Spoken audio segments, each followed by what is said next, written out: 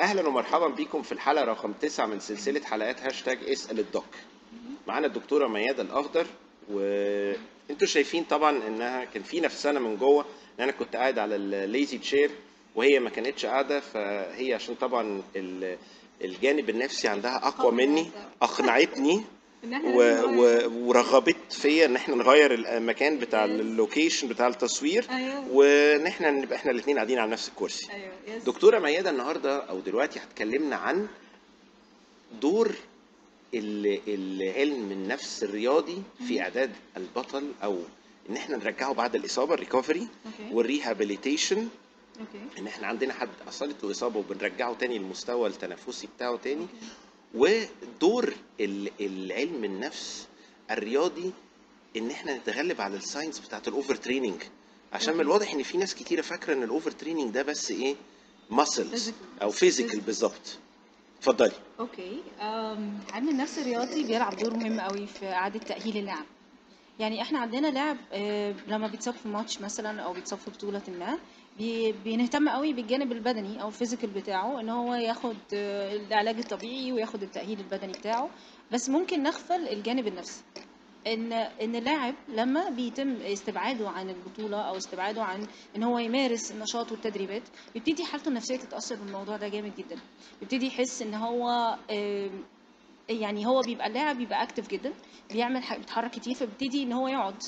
فده بيخليه يحس بإحساس إن هو ما بقاش مهم بقى دوره قليل ما بقاش مهم anymore في اللعبة بتاعته. Plus إن هو لما بيرجع يلعب تاني ما بيلعبش طبعا في المراكز الأساسية أو ما بيلعبش بالصورة أو بالكفاءة بتاعته فلازم يكون عنده إعداد نفسي عشان يقدر يتغلب على النقطة دي. وإن هو كمان ما يرجعش يلعب بسرعة. يعني في لاعبين بيغفلوا يقولوا إحنا خلاص إحنا بقينا كويسين وهننزل نلعب. حتى لو هم بدنيا مش جاهزين إن هم ينزلوا البطولة بتاعتهم. بس العامل النفسي عنده بيضغط عليه إن هو عايز ينزل يلعب. أوكي؟ ولو المدرب يستعجل العودة. بيستعجل العودة. ولو المدرب آه، مش عارف قوي أهمية ال- ال- الموضوع الإعداد النفسي أو أهمية إزاي اللاعب يتحكم في في انفعالاته ومشاعره هيبتدي اللاعب هينزل يلعب هيقول له أنا كويس وهينزل يلعب ويبتدي يضغط على نفسه ويأدي بصورة أعلى. إيه في, في الأداء. يعني ممكن فعلا يضغط على نفسه ويبتدي ينزل يلعب وي- ويحط القلم على جنب ومالوش دعوة بأي حاجة وينزل الملعب. فده بيأثر عليه بعد كده later on في مستوى حتى الكفاءة بتاعته والفورمة بتاعته. إحنا ال overtraining أنت اتكلمت على جزء ليه علاقة بال overtraining ال overtraining هو إن اللاعب ما بيكونش في الفورمة بتاعته إن هو بيحس بإجهاد وتعب.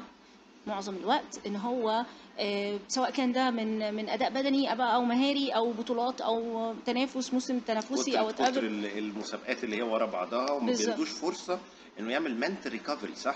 يعمل mental recovery و psychological recovery بمعنى. إيه إن هو أثناء ال- البطولة بيبقى فيه ضغط نفسي بيبقى فيه آه، آه، خصم بيبقى فيه actions بتحصل غير ال physical actions so ان ان إن اللاعب بيبتدي يحصل له إحنا بنقول عليه إجهاد نفسي أو تعب نفسي. بمعنى إن هو بيوصل لل peak مثلا في صفات معينة في في الأداء بتاعه. كل لعبة بتختلف في الصفات النفسية بتاعتها. okay؟ فلما بيجي اللاعب ينزل ماتش النهارده. نزل النهارده ماتش وركز وحط كل ال focus بتاعه وإدى كل ال energy بتاعته في الماتش ده. وبعدين حصل إن هو اتصاب أو حصل إن هو خسر حتى. أو حصل أو حصل أي حاجة مش هو مش متوقعها. أو جاب مثلا كان متخيل إن هو هيجيب score عالي جاب score أقل. فإذا ما ما حصلوش ما تمش عملية الإعداد بصورة آه، كبيرة آه، صورة الإعداد النفسي بالنسبة له. بيبتدي يعمل إيه؟ بيبتدي ينزل مستوى الأداء بتاعه. وإن هو يرجع في الفورمة بتاعته تاني بت- بتقل سرعة الاستشفاء أو سرعة نزوله لل... لل... لل... إن هو ينزل الملعب بكفاءة عاليه أو بفورمة أعلى. طيب خليني أنا أسألك سؤال تاني برضو متعلق بال... بالقصة دي. أنت شايفة إن الناس هنا في مصر بتركز على ال overtraining ال physical وبتغفل ال overtraining ال mental yes طيب لو إحنا خدنا دلوقتي حد بيتعالج من overtraining عن طريق ال traditional way اللي هو مركز بس على الجانب ال physical وخدنا حد تاني ركز على الجانب ال physical والجانب ال mental أو ال psychology هل الفروق هتبقى جامدة قوي في في في, في إن هو يرجع لفورمته القديمة؟ أو يبقى أحسن؟ أو أو يعمل recovery بأسرع؟ هو طبعا ال mental training والإعداد النفسي الإعداد العقلي والإعداد النفسي دي صورة كبيرة جدا بالاستشفاء العضلي أو الاستشفاء البدني. لما بيكون اللاعب آه، زي ما إحنا قلنا عنده ضغوط نفسية وعنده ضغوط ال overtraining والكلام ده آه، هو لازم يكون عنده حاجة اسمها إعداد عقلي سليم أو الخريطة الذهنية بتاعته تكون مظبوطة إن هو يكون عارف الأهداف اللي هو هيتحرك عليها إيه بالظبط. okay؟ آه، إيه نقط القوة وإيه نقط الضعف؟ إيه المشاكل اللي مواجهاه دلوقتي في الوقت اللي هو فيه؟ سواء كان أو يبقى فاهم وعنده استيعاب بمعنى إيه هو ال overtraining يفهم يستوعب ده. يعني انت ممكن اللاعب الم- المدرب بتاعه يقول له انت عندك overtraining بس هو كلاعب يكون حاسس ان هو لا أنا ما عنديش overtraining أنا ممكن اكون تعبان شوية ممكن شوية زهقان شوية. حتى بنلاقي ان mood اللاعب مش بيبقى مظبوط. يعني ممكن physically لو عملت له اختبار آه، بدني ممكن يأدي كويس في الاختبارات البدنية بس mood ه مش مظبوط. أو آه، لما يجي سهل الاستثارة. عص- يعني است- فعلا هي سهل الاستثارة ممكن أي حاجة صغيرة تنرفزه ده المفروض إن هو كواحد شخص رياضي ده ما يبقاش هو موجود ممكن حالتين ممكن مم. يبقى لاعب آه، زي ما بنقول عنيف شوية مم. أو اللاعب يكون عنده حالة لا مبالاة okay يعني آه، لك موجودين. مش مهم آه. مش مهم بالنسبة له ينزل الملعب عادي يعني كسبنا خسرنا مش مشكلة آه ال teamwork. يبتدي يبقى مش مش شرط إن هو يكون مش عايز يلعب جوه مم. بس ممكن يكون مش قادر أو مش شايف أو مش مش عارف إزاي يتحكم في في الملعب أو okay. يعمل ي build communication مع ال team بتاعه. آه، مش أنانية في بعض ال- الاوقات بتت, بتت يعني بتترجم إن هي أنانية إن اللاعب أناني إن هو بيحب يظهر نفسه بس. لا بس هو ممكن يكون اللاعب عنده ضغوط نفسية معينة أو عنده صفات نفسية عايزة تتظبط فده محتاج إنه يحصل له آه، إحنا في ال في ال في, ال في علم النفس الرياضي بيتعمل تحليل نفسي للاعبين okay؟ فبنبتدي نعرف إيه أعلى صفات وسمات عنده وإيه أقل ونقدر إزاي نستخدمها إزاي نرفع إزاي نقلل إزاي نتحكم بالصفات دي لل- للصورة الإيجابية. إزاي يستخدمها بصورة إيجابية. اتكلمنا دلوقتي عن الناس الرياضيين واتكلمنا عن الملاعب وال track and field واتكلمنا عن المنافسات واتكلمنا عن ال recovery واتكلمنا عن ال overtraining دور العلم النفس الرياضي للناس اللي بتيجي الجيم على السبيل اليومي. okay. آه علم النفس الرياضي بيلعب دور مهم قوي في في التدريب عموما. آه لازم مدربين ال personal training اللي إحنا زمايلنا اللي إحنا كنا بنعرفهم يكون عندهم جزء related بال sport psychology وازاي آه، يتعاملوا مع ال clients بتاعتهم وازاي آه، يعرفوا يعملوا analysis لل clients بتاعتهم آه، حالتهم النفسية إيه ومشاكل عدم تحقيق ال program إيه. يعني إحنا دايما بنحط ال programs بتاعتنا بتبقى مكتوبة ومعروفة جدا ومحددة بس في بعض الأوقات بنلاقي إن البرنامج اللي إحنا حاطينه ما حققش النتيجة. سواء كان آه، برنامج physical plus nutrition program أو diet program بنلاقي إن ال effect بتاعه مش زي اللي إحنا حاسبينه في الورق بتاعنا بنلاقي إن الأرقام مختلفة. مم. فما بنبقاش عارفين ال reason إيه. فبنقول أكيد ال client بتاعك بره. أو بيتغير في يعني. بندور بندور على العذر في أي مكان غير الجيم. غير بندور. على على العوامل المؤثرة السلبية بره الجيم. بره الجيم. فبنقول أكيد ال client بتاعنا ده بيعمل حاجة تانية. يعني يا إما مش بي بعدين بنبتدي نسأل طب أنتوا بتناموا كويس؟ طب أنتوا كذا؟ طب بنبتدي نسأل على ال factors طب أنتوا بتاكلوا كل ال meals سواء كان يعني زي ما كنا بنعمل ال questionnaire بتاعتنا بتاعت ال nutrition وال fitness وال weak points وإذا كان هو عنده medical history ولا لأ إحنا بنعمل نفس القصة في الاستبيان النفسي. ممكن أيوة، أقولها كده؟ نفسي. حلوة استبيان أيوة، نفسي دي. آه وعشان نعرف where is the Achilles heel زي ما هم بيقولوا كده. فين فين نقطة الضعف؟ yes فإحنا دلوقتي لما بنيجي نسأل ال clients بتوعنا أه، ونقول لهم إيه إيه المشاكل بالظبط. فلازم ال personal trainer يبقى aware يعرف إزاي يسأل أسئلة related بالحالة النفسية. من غير ما ي... ما ي... يعمل focusing أو يعمل pressure على الحالة النفسية. specially في ال females يعني ممكن يكون حد female عندها stresses وهي جاية جيم أصلا هرمون سايكل أبسط حاجة يعني. ممكن جدا. مم. فهي بتبقى جاية جيم عايزة إيه؟ عايزة ت release release stress okay وتركب ال- تركب الموجة بتاعت الإندورفين. Yes, اللي هو إن شاء yes. الله المدرب هيضيعها عليها لو ما تصرفش بطريقة إيجابية لو هو مش good listener لو هو مش problem solving character Yes. ما عرفش إن هو يحتويها ممكن يخليها ما تجيش الجيم تاني. صح ده كده؟ بيحصل ده بيحصل كتير قوي. و clients كمان اللي هم بيبقى overweight أو ال body fat percentage بتاعتهم عالية. بيحصل إيه؟ بيبقى الحالة النفسية بتاعتهم already بتبقى لو يعني بمعنى إن هي بتبقى مش واثقة في نفسها بيبقى عندها problem زي جال جيم أصلا علشان تعمل خاطر comparing للناس اللي حواليها بتسمع comments. بتروح تشتري من محل تلاقي الناس بتشتري من الحاجات اللي هي ال normal size وهي بتضطر إنها بتشتري من الحاجات اللي فهي كده ولا كده عندها pressure قبل ما تيجي الجيم بالظبط. فهي مش ناقصة إن حد إيه ي highlight بالظبط okay plus كمان إن هي ممكن تكون جربت كذا مرة. يعني ممكن تكون راحت الجيم كتير وما حصلش نتيجة.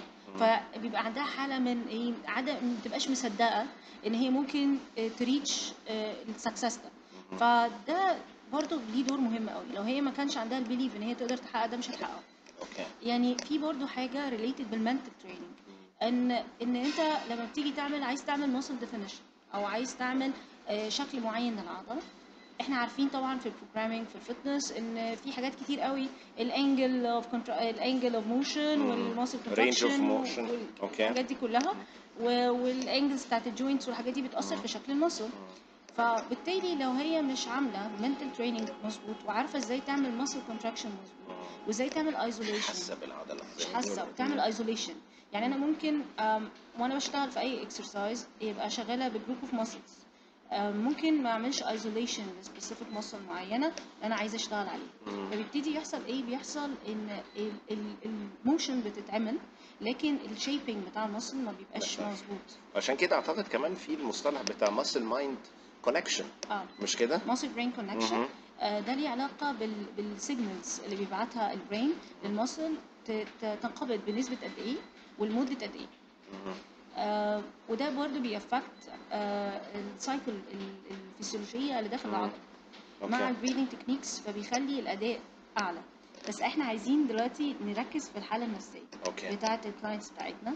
آه اللي بيحصل إن لازم ال personal trainer تحاول أو يحاول إن هو ي add value للتدريب بمعنى إيه بمعنى إن هي يقول لها ال benefits بتاعة التدريب يعمل لها support نفسي زي ما. يشجعها support نفسي. okay آه ويبتدي يشوف ال program يعني لما يبتدي يعمل analysis لل training program بتاعه أو ال results اللي حصلت من ال من ال program آه اللي إحنا بنسميه follow up. على ال program. وبيلاقي إن ال- النتائج مش هي النتائج اللي المفروض تطلع فيبتدي يعرف إن في حاجة مش مظبوطة فممكن يدي لل client questionnaire نفسي عن كم مرة هي جات الجيم وما حصلش؟ كم مرة عملت membership وما راحتش الجيم؟ وده إحنا بنلاقيه كتير يعني. يعني برضو ال history زي ما إحنا بنعملها في ال medical وال nutrition وال fitness وكل الكلام ده بنعمله برضو سايكولوجي أيوة. يعني بن- يعني يعتبر إن إحنا بنعمل history لكل الجوانب زي ما عملناها في الحاجات التانية بتاعتنا. بالظبط. يعني إحنا بنعمل ده kind of questionnaire. بنعرف ال history النفسي لل client بشكل indirect يعني مثلا say إن ال client بتقول أنا أنا اشتركت بقالي 10 سنين عايزه أخس مثلا اشتركت في كذا جيم. كذا جيم وبعمل membership وبعدين ما بروحش so so هنا في مشكلة إن يا إما ال environment بتاعت الجيم نفسها مش بتعملها attraction أو بتروح بتلاقي. حاجة معينة مم. آه، بت بتخ... بتخليها ت... خلاص. yes. ما بتقدرش تكمل تاني تقفل تقفل. عشان كده دلوقتي من من ال- العلوم المرتبطة بعلوم ال fitness أو تدريب ال fitness إن إزاي أخلي client يتحط في mood ما يركزش قوي على ال weak points اللي موجودة عنده زي classes مثلا كان الأول بنستخدم مرايات في الاستوديو كله دلوقتي لأ ابتدت المرايات لازم ما يبقاش ال client شايف نفسه. وهو بيلعب أو هي بتلعب It could be a turn off yes. ممكن يبقى negative آه feedback بالظبط ممكن مم. تشوف نفسها وهي بتلعب تحس إيه ده أنا تخينة قوي إيه ده. أنا مش عارف إيه فتبتدي ما تعمل ما, ما تركزش في الحركة اللي هي بتعملها ما يحصلهاش ال... ال... الاستمتاع بال class مم. اللي هي المفروض تبقى مبسوطة فيه و plus ان هي بعد كده مش هت... مش هتيجي تاني ت...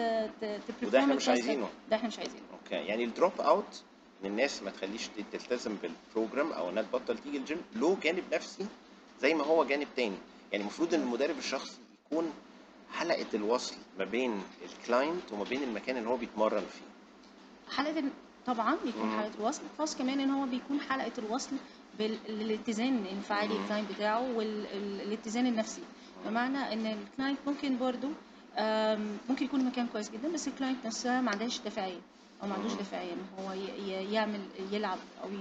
يجي أو ينتظم في التدريب. هو اللي بي... انتظام في التدريب ده إيه؟ بيبقى إرادة. يعني إحنا بنلاقي. بعض yes.